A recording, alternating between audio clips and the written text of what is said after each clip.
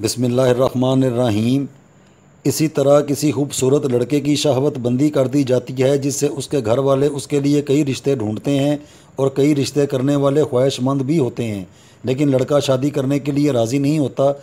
इस अमल को तोड़ने और अपने मकसद में कामयाब होने के लिए एक मट्टी का कच्चा घड़ा लाकर उसके बाहर पैंदे पर इन हरूफ को लिखा जाए।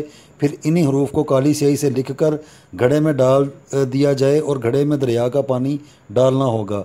फिर इस पानी से सात रोज़ तक गुसल खड़े होकर किया जाए और जहाँ इस अमल को किया जाए, वहाँ उसका पहले से अहतमाम किया जाए कि पानी ना तो ज़ाया हो और ना ही किसी और जगह बह जाए, बल्कि किसी एक जगह इकट्ठा हो जाए।